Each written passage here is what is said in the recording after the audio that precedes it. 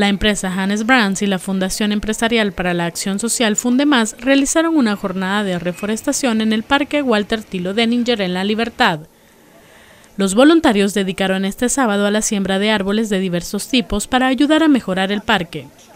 Fundemás realiza alianzas con diversas empresas con énfasis en la sensibilización ambiental, además de ayuda a comunidades en todo el país. Con imágenes de José Cardona, informó para la prensa gráfica.com Nancy Alonso.